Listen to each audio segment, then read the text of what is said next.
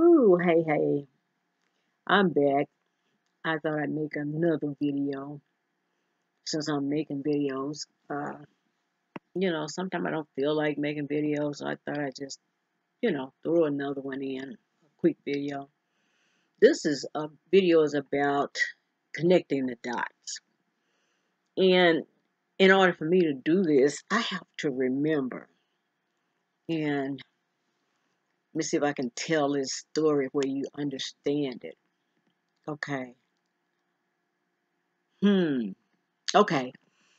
My mother and my sister and my younger brother, we used to walk up a hill going to church.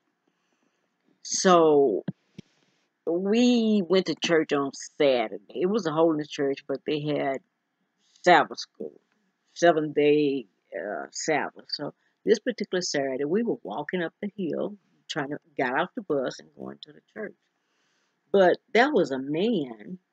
He looked like a Mexican man. This is in a black neighborhood. He was washing his car with his two little girls out there. And my mother spoke to him. He spoke to her. And I just said, Ooh, a Mexican man living in this neighborhood. Went on to church, never thought about it. I'm about 15 or 16 years old, maybe. Okay, my mother said hi to this man. Okay, so there's one dot when I'm 16. See this man look like a Mexican and washing his car in front of his house with his two children. Little uh, kids, maybe three and one, maybe seven or eight, seven maybe. So anyway, my mother got sick, had her surgery for colon cancer on March the 17th, St. Patrick's Day. Colon cancer. Oh God, in the last stages. They gave her six months to live.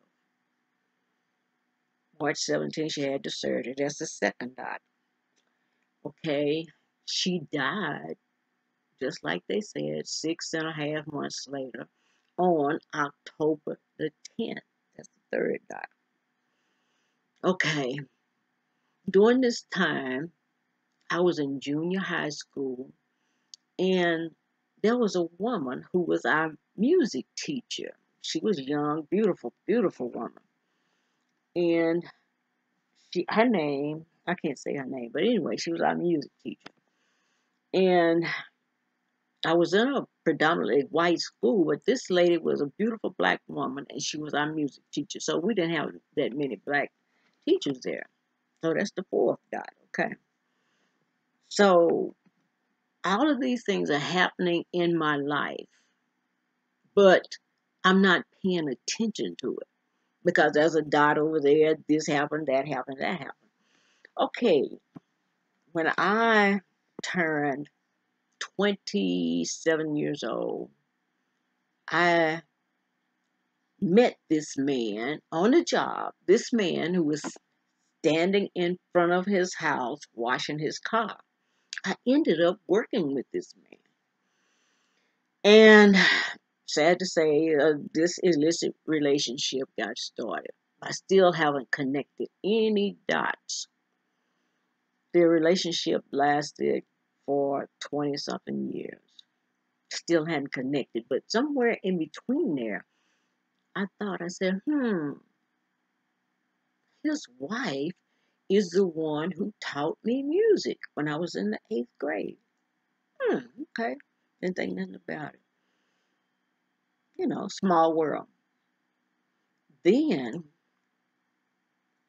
I ended up moving, moving in this house where he was washing his car.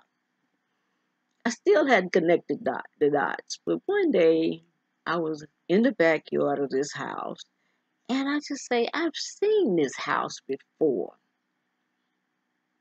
And I said, Oh, he is the man I saw when I was 17, 16 years old, walking up the hill of church. And this is the house. And I'm living in it. Like, what? Okay, let me tell you some more stuff about how these dots connected. Okay. This this man, he ended up getting sick They told him he had colon cancer. He ends up having his surgery on St. Patrick's Day, March 17th. I still didn't think anything about it. I said, oh, he's having that same surgery my mother had. And then after he got out of the hospital, I said, oh, that's the same day mama had her surgery. I said, but dang, they gave her six months to live, and they gave him six months to live. I said, oh my God. As his illness went on, he and his his wife, his wife and myself, we helped him as much as we could, and the relationship between the um, the wife, myself, and the husband was strange. But you know, if you were in Africa wherever, this that wouldn't be no big deal. But he lingered on, lost a whole lot of weight, and you knew he was dying. And we said our goodbyes. And I talked to the wife, and she called me. This one day, she called me. She said, "I think he's leaving. We need to get him to the hospital." And I told her, I said, "Well, we need a man to do that, and need to call an ambulance." So they took him to the hospital and gave him something to make him comfortable. But he died the same day my mother died, October the 10th. And when you when I look back on that situation, I think about my mother. And she'll never know that when we were walking up the hill, this very man she nodded and say good said good morning to, she didn't know the connection they would have. Both of y'all would have cancer, have surgery on the same day, and die the same day. They had no idea, and I had no idea that I would be living in that house. I wrote about that house in my first book, Going Home Another Way. But I said all of this to connect these dots is meditation is good to make you remember different situations and when you relax you'll say huh. And when you connect the dots you'll say that everything is in divine order. But the key is to remember. And i don't know i can't tell people how to remember but I think meditation and relaxation, and, and you don't have to always, when you meditate, you don't have to always, you know, uh, go deep and try to figure out something. You can just meditate on your life, just past what you did in the past and the people who came through your life. Think about them, and maybe you'll find a dot, and then that same person that you're thinking about think about them in another situation and you might have another dot to place to connect. And when you connect all these dots, you'll see a web and a story. And it, it's a miracle. If you remember, I I don't know why I have such a good memory. I, I just now some things I forget, but just uh, you know nothing things that don't amount to anything. You you'll remember. I remember my um my cousin. I don't know if I said this before or not. See, I can't remember that. but my cousin, she's all going on seven. She's in her late seventies. But her brother, her brother died, and I, I was one. I was gonna call her and you know condolences, but I, I just kept putting it off. And then I called her, and she said, "Oh, Mary, I'm I'm so glad you called." And she says, I'm working on the obituary. And you probably don't know this, but we had an older brother that died young. And I want to mention this brother in the obituary, but I can't remember his name. And here I go. I said, Oh, his name was Napoleon. And she said, Mary, it sure was. How do you remember that? I said, I don't know. I just remember them saying this. And Napoleon was born probably 1943 or something like that, way before I was born. But I heard the story of what the people said his name was, and in my mind, ooh, Napoleon. I was I put that in my head. I stored it somewhere in my brain. But I was able to retrieve it and call her at the right time. The universe uh, synchronized that stuff. So I called her and gave her the name of her older brother that died when he was a baby. So it's just, I don't know. I, I don't know how much memory I'll retain when I get older. You know, you have these, I'm not claiming Alzheimer or nothing, but you know, your, your short term memory may go, but man, I have a great, a great long time remember memory. But just saying, connecting the dots, and you may even see a purpose for people coming in and out of your life.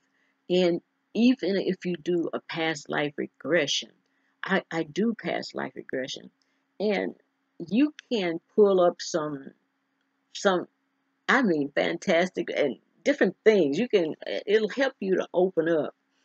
So if you want a past life regression, you can uh, email me. I think my email, yeah, my email is on my um, page that talks about me, and then my website. You can email me on my website, myameka.com, and that's on my uh, my about me page. So but past life regression, I can do that for you. And then after that, I can show you how to do past life regressions on yourself. Because, you know, we have many lives and there are many dots to connect uh, when you do past life regressions. But the uh, regressions usually take an hour and it's $75.